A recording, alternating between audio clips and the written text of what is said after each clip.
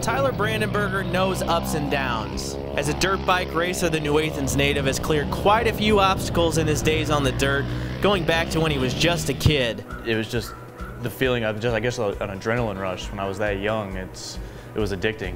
But one day in 2015 forced Tyler to adapt to an obstacle unlike anything he had faced before. I just got sideways, the bike kicked sideways, my feet flew off the pegs, and I was just on for the ride at that point. And uh, whenever I landed, I knew that uh, my leg was broke. He was rushed to the hospital, and the next few days would change his life forever.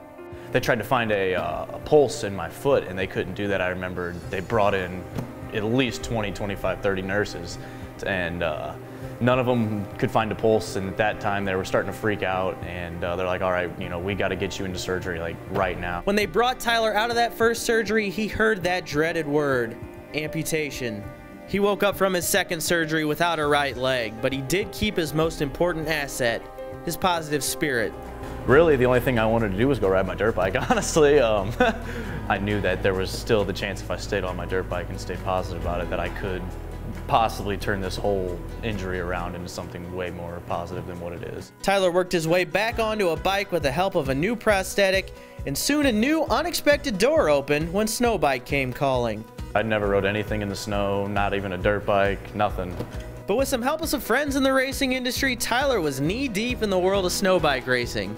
It all just happened so quick, you know, it was just one phone call led to another phone call and then that led to this and then all of a sudden I'm in Minnesota trying to qualify for the X Games. Tyler ran well enough up in Minnesota to get an invite to Aspen for the big show, the 2019 Winter X Games.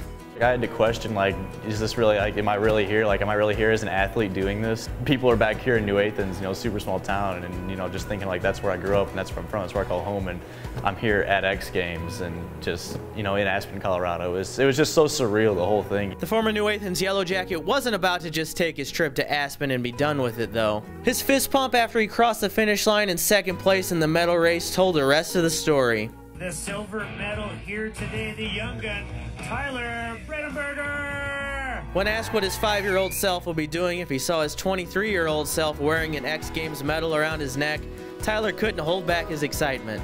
Getting his autograph.